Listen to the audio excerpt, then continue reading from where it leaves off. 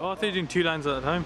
Oh, sorry, do I, do I put the Yeah, next line? yeah. Okay, right. There was a man who likes a lot of meat. He likes it in pastry and when it smells like feet.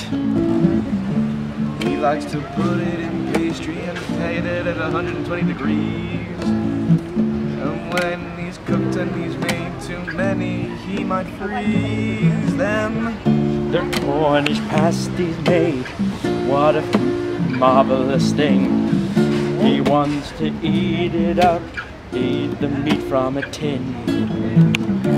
He put in the fridge. W.H. Smith. He got a pasty when he was finger blasting. And then the lady said, I like that. There's nothing like pastry when you're sticking it in my. Is the pastry moist? or is that just you?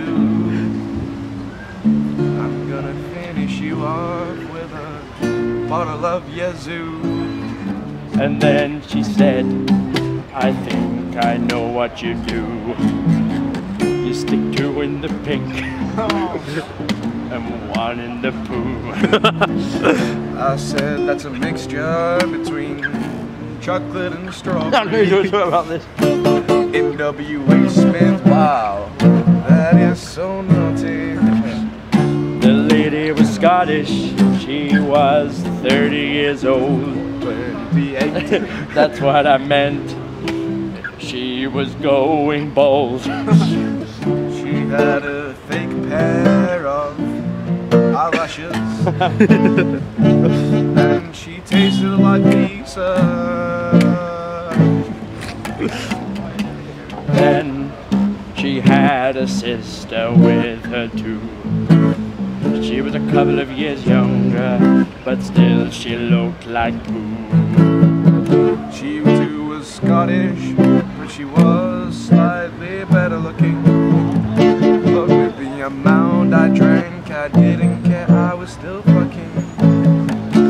Fife, Fife, Fife. The lady was from Fife. Being with her that night only caused you strife.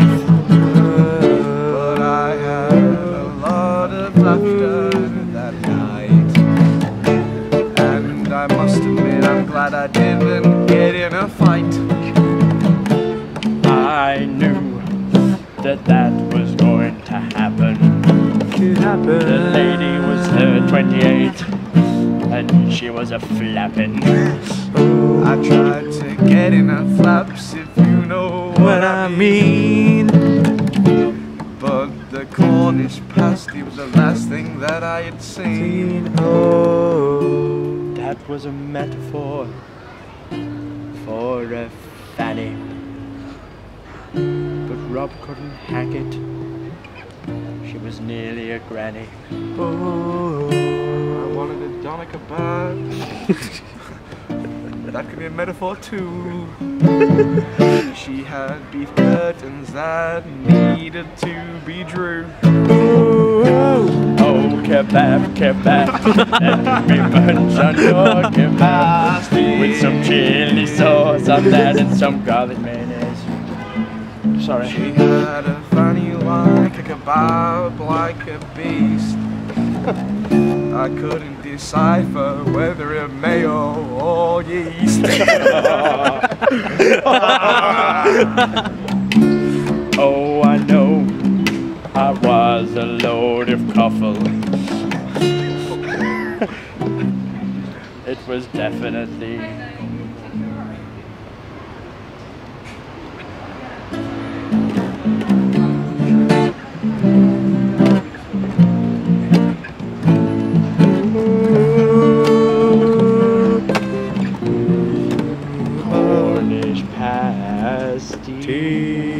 Five minutes on the dot.